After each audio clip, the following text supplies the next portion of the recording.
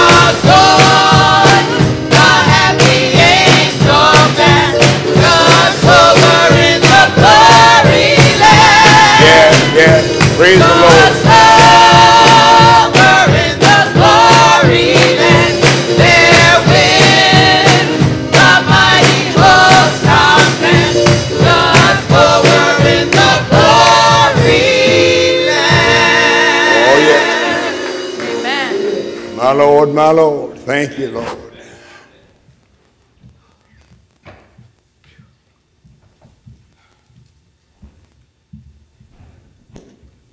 Good morning, Christian friends. Good morning. Today I will be reading from the book of St. Matthew.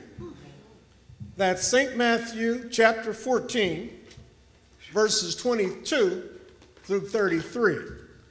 That's St. Matthew chapter 14, verses 22 through 33.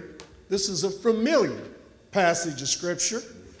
Do you read along with me? And straightway Jesus constrained his disciples to get into a ship and to go before him unto the other side while he sent the multitude away. And when he had sent the multitude away, he went up into a mountain apart to pray. And when the evening was come, he was there alone. But the ship was now in the midst of the sea, tossed with waves, for the wind was contrary. And in the fourth watch of the night, Jesus went unto them walking on the sea. And when the disciples saw him walking on the sea, they were troubled, saying, It's a spirit. And they cried out for fear. But straightway Jesus spake unto them, saying, Be of good cheer. It is I. Yes. Be not afraid. And Peter answered him and said, Lord, if it be thou, bid me come unto thee on the water. And he said, Come. And Peter was come down out of the ship, and he walked on the water to go to Jesus. But when he saw the wind boisterous, he was afraid. And beginning to sink, he cried out, saying, Lord, save me. And immediately Jesus stretched forth his hand and caught him and said unto him, O thou of little faith, wherefore didst thou doubt? And when they were come into the ship, the wind ceased. Then they that were in the ship came and worshiped him, saying, Of a truth, thou art the Son of God. May the Lord add a blessing to the reading and hearing of his word. Amen.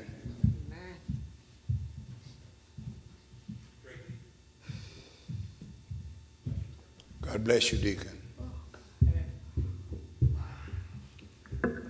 Let us pray. Dear Heavenly Father, it's once again that we have gathered in your house. We've come with gratitude in our hearts, dear Lord, thanking you for the many blessings that you have bestowed upon us. We thank you, dear Lord, for the angels that watched over us last night when we slumbered and slept. Thank you, Lord. Those same angels, dear Lord, watched us and kept us through the day. And we are, Lord, in your house, where we come just to say thank you. We ask you to join us in this service, dear Lord. We ask you to bless our pastor who's bringing us the word.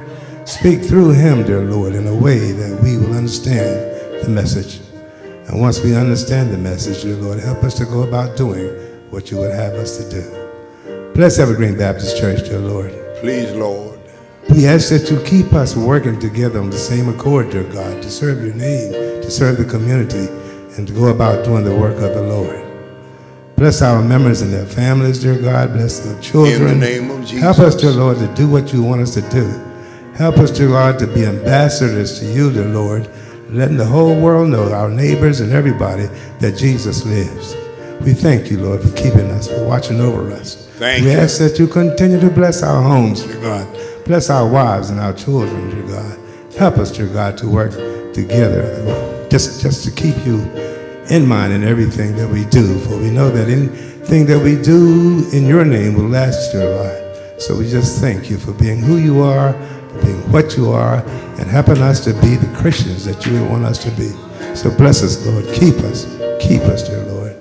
We ask you, dear Lord, to bless the musicians that bring us the word of praise week after week, sacrificing their time, dear God, just so that we can enjoy the word, dear Lord.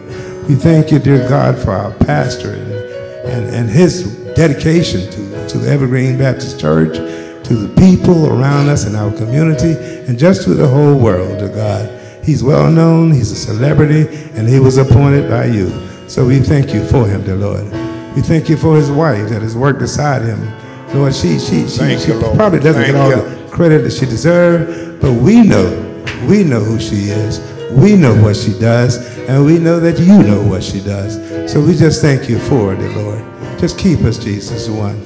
Bless the sick and the shut in. Comfort them, dear Lord, in, in mercy, every Lord. way that, that they need to be, Lord. Let them know that you are their Savior and that even though they're down and feel distressed and forgotten about, you are there for them.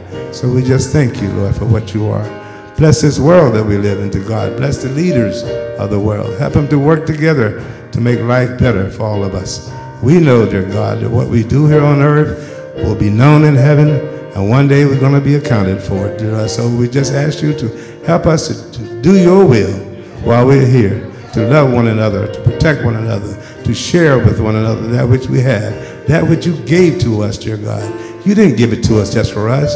You gave it to us to help others who, who are less fortunate than we are. Yes, Lord. So we just ask you, dear God, to, to, to, to bless those that are homeless, bless those that, that don't know where to turn to. Let them know, dear God, that you are God and they can always turn to you. So we just continue to praise your name, dear Lord. We just continue to thank you for everything that you've done. Each day of our life, dear God, we want to let what we did that day be a blessing to the world. Let it be approved by you, dear God. If anything we do during the day that's not pleasing to you, dear Lord, we ask you that you forgive us for our sins. We know, dear God, that temptation is everywhere. Temptations are on every turn, dear God. Sometimes it looks like that is a better way, but we know that as long as we stay focused on you, that is the right way to go. So we'll continue to praise your name, dear God. We thank you for this service. We thank you for being able to bring it to people who are not Thank able to attend church, dear God. You. For we know that the word is the word, whether it's done through Streamline, whether it's, wherever it's done, dear God. There's only one word, and that's the word of God. So it's in your name that we pray and say thank you, Lord, and hallelujah.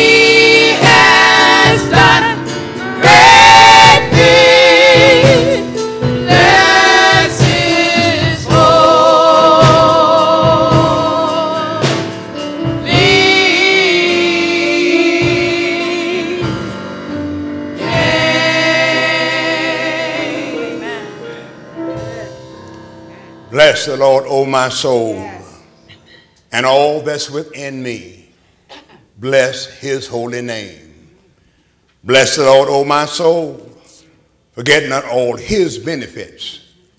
Certainly we thank God for this praise team, the Holy Spirit. Laid on my heart to contact Deaconess Joyce McCoy and ask her to ask this gifted group of singers sing today you need jesus every day. Ah. Thank god we have jesus every day. Thank you so much. I invite your attention and consideration to the gospel of matthew the 14th chapter the 28th through the 33rd verses, the Gospel of Matthew, chapter 14, verses 28 to 33, we find this record. And Peter answered him and said, Lord, if it be thou, bid me come unto thee on the water. And he said, Come. And when Peter was come down out of the ship, he walked on the water to go to Jesus. But when he saw the wind boisterous, he was afraid and beginning to sink. He cried, saying, Lord, save me. And immediately Jesus stretched forth his hand and caught him and said unto him, O thou of little faith, wherefore didst thou doubt? When they were come into the ship, the wind ceased. Then they that were in the ship came and worshipped him, saying, Of a truth, thou art the Son of God. Won't you notice in particular verse 30? But when he saw the wind boisterous, he was afraid and beginning to sink, he cried, saying, Lord, save me. A desperate cry for help. A desperate cry for help. My brothers and sisters, the Bible says in Acts 10:38, God anointed Jesus of Nazareth with the Holy Ghost and with power, who went about doing good and healing all that were oppressed of the devil, for God was with him. The Word of God reveals in the coast of Tyre and Sidon, a woman of Canaan cried unto Jesus, saying, Have mercy on me, O Lord, thou son of David. My daughter is grievously vexed with a devil. The record is Jesus did not respond to her. The disciples said unto the Lord, Send her away, for she crieth after us. Then said Jesus, I am not sent but unto the lost sheep of the house of Israel. Matthew 15, 25 tells us a woman came and worshiped him and saying, Lord, help me. Jesus said, It is not meet to give the children bread and to cast it to the dogs. The woman said, Truth, Lord. Yet the dogs eat of the crumbs which fall from their master's table. The woman's word touched the heart of the Lord Jesus. Her faith was unwavering. Oh, what a blessing to have unwavering faith. Then Jesus said to her, O woman, great is thy faith. Be it unto thee even as thou wilt. And her daughter was made whole from that very hour. This woman's cry for help was based on faith in the Son of God. It brought healing and deliverance to her daughter. She did not bring her daughter to Jesus, but she brought the problems her daughter was living with to the Lord of life. Thank God, sometimes you may not be able, I may not be able to bring the person to the house of God, but we can bring the problems the person living with. And we can tell Jesus about it. And he's a God that makes a difference. Uh-huh. Notice the scriptures declare Jesus took Peter, James, and John up into a high mountain and was transfigured before them. His raiment became shining, exceeding white as snow. There appeared Moses and Elijah. And they were talking with Jesus. Can you imagine what kind of conversation that was? 1,500 years had passed since Moses died in the land of Moab. 900 years had passed since Elijah had gone to heaven in a whirlwind. Peter got excited. Oh, I don't know how you feel about it, but I love to get excited about Jesus. Just being in the, the presence of Jesus makes a difference. Peter said, Master, it is good for us to be here. Let us make three tabernacles one for thee, one for Moses, and one for Elijah. Mark 9 8 informs us as a cloud overshadowed them. And a voice came out of the cloud saying, This is my beloved Son. Hear him. Now, when Jesus, Peter, James, and John came down from the mountain, a multitude was with Jesus' disciples. The scribes were asking the disciples question. Jesus asked the scribe, Why are you asking them questions? A man in the multitude said, Master, uh, I brought unto thee my son, which hath a dumb spirit. The man described uh, his son's uh, problems. Uh, the spirit teareth him and foameth, and he gaspeth with his teeth and pineth away. I spoke to thy disciples that they should cast him out, and they could not. Jesus said, Oh, faithless generation, how long shall I be with you? How long shall I suffer you? Bring him to me. They brought the young person to Jesus. The Spirit caused a boy to have a seizure. He fell on the ground and wallowed, foamed at the mouth. The Lord Jesus asked the father, How long ago since this came upon him? And he said, Of a child. The father said, Oft times he hath cast him into the fire and into the waters and, and, and to destroy him. But if thou canst do anything, have compassion on us and help us. Jesus said, If thou canst believe, all things are possible to him that believeth. In Mark 9 24, we find the following words, and straightway the father of the child cried out and said, with tears, Lord, I believe, help thou my unbelief. Yes, yes. Jesus said, Thou dumb and deaf spirit, I, I charge thee come out of him. And enter no more into him. The spirit came out of him. My brothers and sisters, uh, the devil like to uh, wreck lives. He, he, he, loves to uh, attack families. thank God for Jesus. the devil is no match for Jesus. And thank God uh, we know who to call on when trouble comes. We know who to call on when the going gets rough. We know who to call on when the storms are raging. We call Jesus. Another occasion, Jesus was near the city of Jericho. A certain blind man sat by the wayside begging. He heard the multitude passing by. He asked, What's going on? And they said, told him uh, that Jesus of Nazareth passeth by. Luke 18 38 reveals the blind man words. He cried, saying, Jesus, thou son of David, have mercy on me. Some of the people rebuked him uh, that he should hold his peace, but he cried so much the more, Thou son of David, have mercy on me. Jesus stood and, and commanded them that bring the blind man unto him. When the blind man was near the Lord Jesus, he was asked, What wilt thou that I should do unto thee? He said, Lord, that I might receive my sight. Jesus said to him, Receive thy sight, thy faith hath saved thee.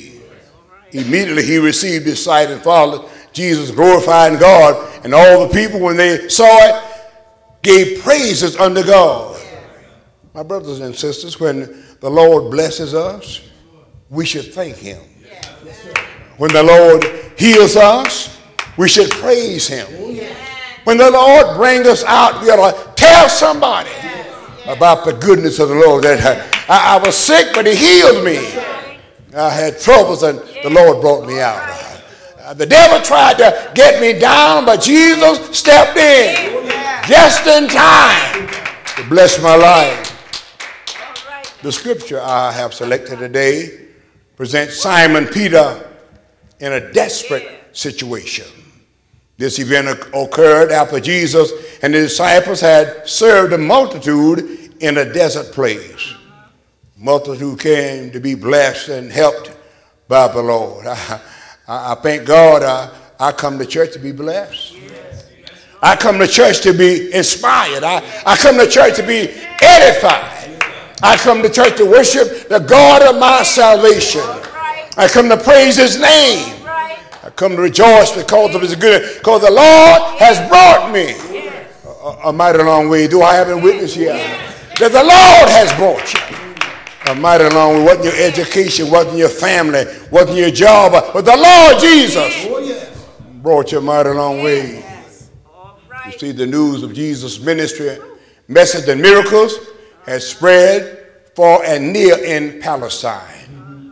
People by the thousands came to Jesus to be healed and delivered. On the day before the text, Jesus and his disciples were in a desert place. Jesus was preaching and teaching in this desert place, and the people were being blessed. The Bible said the people followed Jesus on foot out of the cities. The record is the Lord was moved with compassion and healed their sick.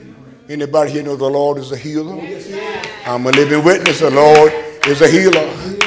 After spending the day with the Lord of life, the people were hungry and tired. The disciples came to the in the evening saying, This is, is a desert place. And the time is now past. Send the multitude away that they may go into the villages and buy food. But Jesus said, they need not depart. You know, I want to just remind you, Jesus has all you need. No one has to leave Jesus to be blessed. No one has to leave Jesus to be helped. He has all we need. And the Bible said, my God shall supply all your needs according to riches and glory by Christ Jesus. Oh, the Master was in that desert place, and the time was now past, and the multitude was hungry and tired. But Jesus said, They need not depart. Give ye them to eat. They said, We have but five loaves and two fishes. The Lord said, Bring them to me. Oh, in their hands it was just a, a basically a lunch. Five loaves and two fishes. But in Jesus' hand, there was a feast for thousands. Oh, things in his hand makes a difference. His hands are eternal. His hands are providing. His hands are protecting. His hands are all around us. Thank God for the hands of Jesus. Jesus took the five loaves and two fishes. He looked up to heaven in prayer. He blessed and broke the bread. The disciples then gave the food to the people. They ate and were filled. Oh, thank Jesus fed 5,000 men beside women and children. Uh, there were 12 baskets of fragments gathered after all the people had eaten uh, and was full. Can you imagine how that meal tastes? That the creator of the universe, the Lord of glory, uh, had, had prepared the meal, had multiplied. Oh, and I tell you, if you're going through some hard time, ask the Lord uh, to help you. Ask him to multiply what you have, Lord. Lord, I don't have much, and I don't have as much as I want, as much as I need, but I'm praying that you multiply. I need you to multiply what I have. He's able. Yes, he is. There were 12 baskets of fragments gathered Yes, yes. after all the people had eaten and it was full. Yes. Then Jesus constrained his disciples to get into a ship and to go before him to the other side when his, uh, he had sent the multitude away, he went up into a mountain to pray. It's a blessing to pray every day. Uh, I was telling uh, one of our members that uh, on, on the telephone line, I don't pray a long prayer because I want other people to pray too. But uh, when the going gets rough, when the chips are down, when the devil tried to pull the rug out from on my life, I come to the study. I go to my secret closet and I bow down and call on the Lord. And I talk to him as long as I want to. Tell him all about my children. Tell him about your children. Tell him about America's trouble. Tell him about the world's trouble. For we need Jesus to take care of the situation. So when they sent the multitude away, he went up into a mountain to pray the Lord answers prayer. The ship the disciples were traveling in met with a windstorm. The ship was tossed with waves because the wind was contrary. In the fourth watch of the night, Jesus went to them walking on the sea. Oh, uh, they, they needed Jesus. They was in a terrible storm, and the Lord showed up. I'm a living witness in a storm, Jesus has a history of showing up in a sick room, in a courtroom, in a classroom. He has a history of showing up, making a difference. The disciples saw him walking on the sea and they thought uh, they were seeing a ghost. Some translate it a spirit, but others say a ghost. Jesus spoke saying, Be of good cheer. It is I. Be not afraid. Peter said, Lord, if that be thou, bid me come to thee on the water. Now, we don't know why he wanted to do that. I, I tell you, the older I get, I'm careful what I ask the Lord for. Because he might just give it to me. And then I might not be able to handle it. So I, am careful. And then when I asked him, I said, Lord, if it's your will, bless me to do this. Jesus had come. Peter came down out of the ship and he walked on the water yes. to go to Jesus. The contrary wind was blowing and the waves were dashing high. Peter saw the wind boisterous. He was afraid. Now, Peter and his fishing boat had worked on these waters many years. But there was a great difference between working in a boat on the water and walking on the water. So Peter was afraid and beginning to sink. The word of God said he cried, Lord, save me. He, did, he didn't just say, Lord, save me. He didn't say very casually. This man was in a life-threatening situation. And I believe he screamed out, real loud, Lord, save me. I knew I would have. I wouldn't have talked under my breath. I wanted to make sure the Lord had heard me. And and, and, the Lord saved him. He did not call James or John or his brother Andrew Peter called Jesus for help. In the, in the midst of this pandemic, in the midst of this crisis in America and the world, uh, in the midst of the problems we're having in Texas and, and Jackson, Mississippi, in the midst of so many homes uh, where there's sorrow and, and no employment and people can't pay their rent and their mortgage and people out of work, uh, it's time to call Jesus. Need more than calling the politicians. Need more than calling the business. We need to call Jesus. Somebody right there, Jesus is on the main line. Tell him what you want. Whatever you need, tell him about it. Just tell Jesus. Tell him all. Try is great. Try is small. Oh, so Peter was afraid and began to sink, but he called the right person. He didn't call his brother Andrew. Andrew, he was probably in the boat. He didn't call James and John. They was a part of the, the inner circle. But he called, he was a, a desperate cry for help. It was a, a, a cry that got results. The situation was dangerous and life threatening. Peter called Jesus for help.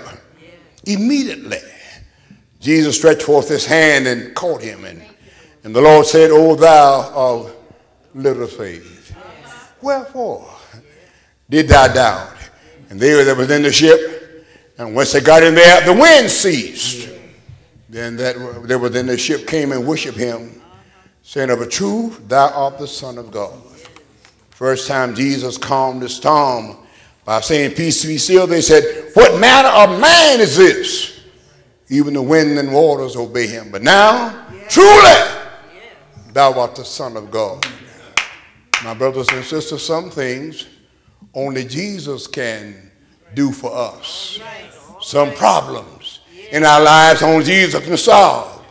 Some needs only Jesus can supply.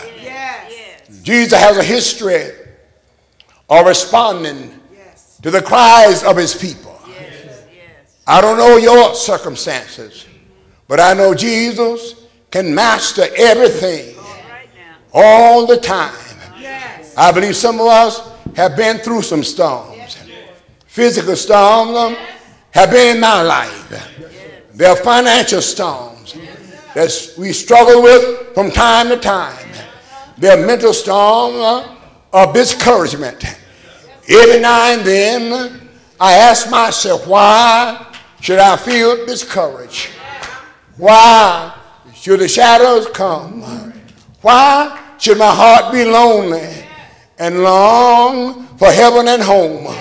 When Jesus is my portion, a constant friend is he, and his eye is on the sparrow, and I know he's watching me. Jesus can bring about a change in a moment. Immediately, he can bring about a change. Even on the cross at Calvary, Jesus heard the cry of repentant sinner. In a dying hour, a dying sleep, said to the Lord of glory, Lord, when thou comest into thy kingdom, remember me. Jesus said, Verily I say unto thee, today thou shalt be with me in paradise. Jesus died on the cross. Thank God he died that Black Friday. He died voluntarily. No man took his life. He had power to lay it down and power to take it up again. He died sacrificially because he died for us. He died painfully on that skull shaped hill. He died shamefully between two thieves and was buried in a borrowed grave. But Sunday morning, God raised him up early, early, early Sunday morning. Uh, God raised him up. I stopped by to remind everybody a long time ago. I cried unto the Lord and he delivered me from the penalty of sin. Uh, and on my journey, the Lord has brought me every step of the way. Uh, it hasn't been easy all the time. Uh, I've been through the storms. Uh, I've been sometimes up and sometimes down. Sometimes almost to the ground. Uh, but the Lord has been there in every storm. I've seen the lightning flashing I heard the thunders roll. Uh, I've seen the breakers dashing, trying to conquer my soul. Uh, but I heard, I heard, I heard the voice of Jesus uh, telling me still fight on. He promised never to leave me. Never, never, never to leave me alone. Uh, I'm so glad he can calm the storm. Uh, I'm so glad he's a caring Christ. And I'm so glad he's a waymaker. I want to ask you, is he all right? If you're all right, have you tried him? Do you love him? Will you praise him? Come and say yes, yes, yes. Thank you, Lord. A desperate, a desperate cry for help. I don't know about you, but I've cried many times. And the Lord has helped me. I cried and He opened doors that were closed in my face. I cried and they made ways out of no way. I cried and He provided for me. There may be someone who heard this message today that has never accepted Jesus Christ into your heart and into your life. I would encourage you. Make a desperate cry even now, Lord Jesus. Save my soul. I am a sinner. I want to be saved. I want my sins forgiven. I want to be a part of God's family. I want to go to heaven when I die. Forgive me my sins. Come to my heart and save my soul. If you ask him, he'll do it. He's the Savior. He's the Redeemer. He's the deliverer. He'll provide salvation and eternal life. Do we have one? Will you come?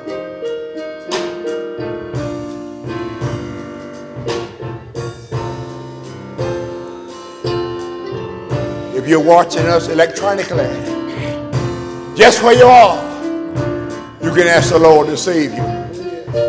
Only Jesus can save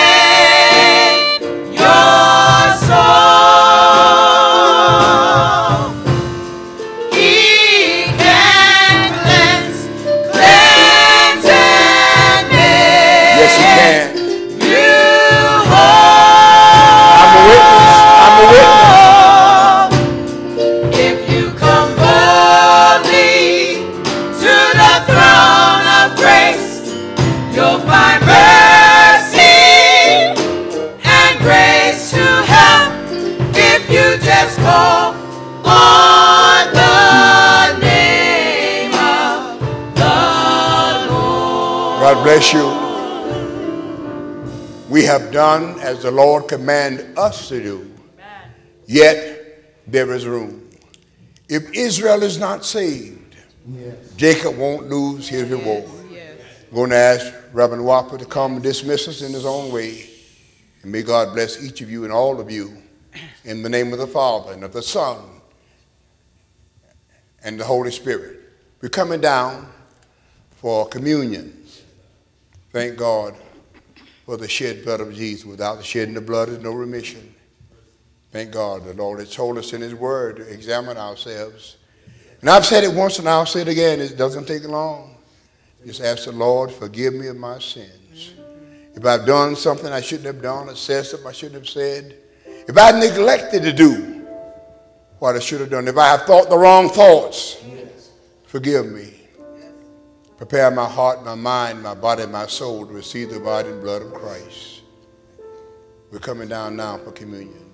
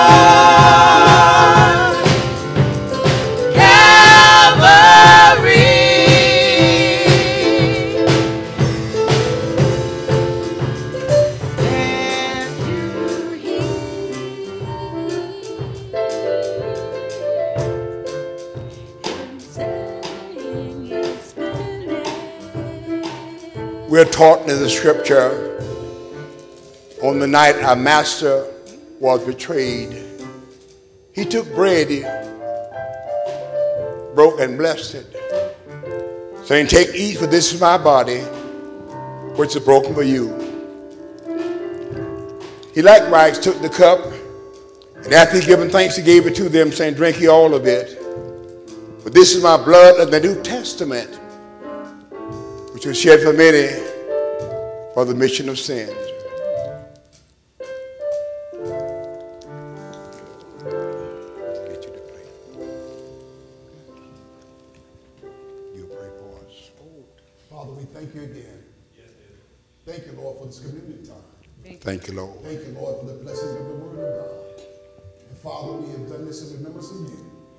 You said so in your word. In Jesus' name we pray. Amen. Amen. Amen. We're taught in the scripture when the supper was over, they sang a hymn and went out. Let us stand and sing one verse of Jesus, keep me near the cross.